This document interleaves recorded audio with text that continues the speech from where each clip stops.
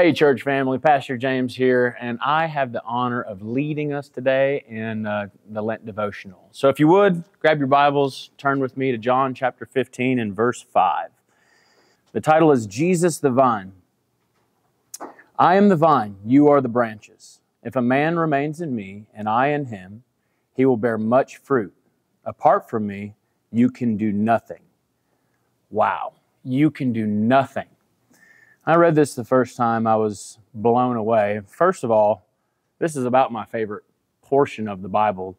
John chapter 14 through 17 is all red letters for me. And if you know anything about that, it's all Jesus' words. So some people call it the final uh, dissertation or the final discourse, is farewell discourse is what it's called.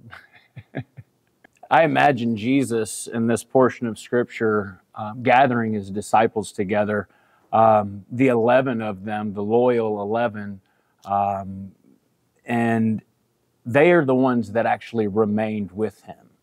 See, Jesus is just unloading his heart throughout this scripture and, and telling them pretty much everything that he wants them to know before he leaves this earth. It's important for us to note that the disciples knew the books of the Old Testament. They have heard of the teachings of Isaiah in chapter 5 that refer to the nation of Israel as the vine uh, that was planted on a fertile hillside. It says the gardener, which is God, he did everything to cultivate the land for the vine to produce an abundant harvest. Yet when the time came, the vine yielded only bad fruit. So the gardener left the land to itself.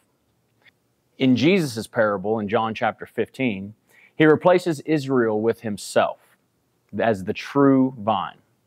Unlike Israel, Jesus will not fail to produce fruit in all of the branches that are connected to him. The point of Jesus' metaphor is that he will succeed where Israel failed. I find it interesting that in order for a grapevine to fulfill its purpose, the vine must be lifted up in order to send out its branches. And eventually, those branches will bear fruit. But first, the vine has to be lifted up, like Jesus was lifted up. The vine's main function is to draw water. It draws the nutrients from the soil, draws water to provide for the branches, and ultimately it sends it to bear the fruit. Under the care of the gardener, the vine is prepared for the best opportunity to yield quality fruit. This is done through pruning. Now, talking about pruning, I think we're going to have to go back into the Word and look at the first part of this parable. So turn to uh, uh 15, chapter 1. It says, I am the true vine, and my Father is the gardener. He cuts off every branch in me that bears no fruit, while every branch branch that does bear fruit, he prunes so that it will be even more fruitful. Now, pruning process is vital. It's, the, it's probably the most important process for growth. And God Himself, as the gardener, has the responsibility to, to prune away. And the Bible makes it clear here there's a distinction in the pruning process. First is the cutting back or the, or the pruning to allow growth for the new branches that are coming up. The second is going to be the cutting off or the separating completely of the branch. Now, this separ- when this separation happens, it's a deep separation all the way down at the trunk, at the base of this branch. Now, this branch is no good. The reason that it was separated is because it was not bearing fruit. They're cut off completely. See, friends, Jesus, He's the true vine. Through him, we, we receive everything that we need.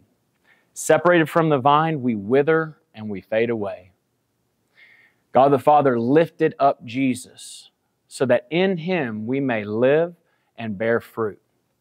He prunes away the selfishness, the self centeredness.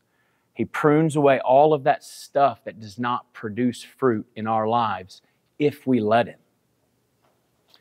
So, how can we remain connected? To the vine? Well, spend time with Jesus.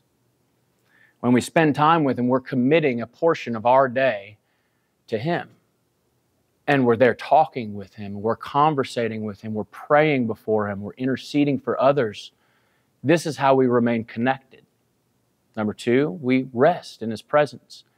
When we rest in His presence, we listen to Him.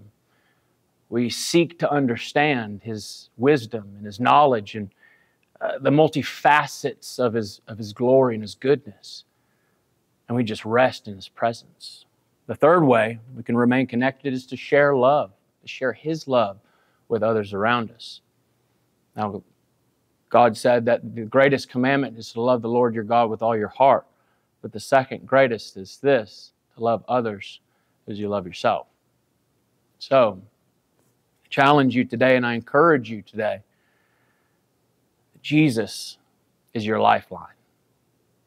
Allow Him to prune those areas that don't produce fruit. Give Him access to every area of your life and just wait and see what happens. Thanks.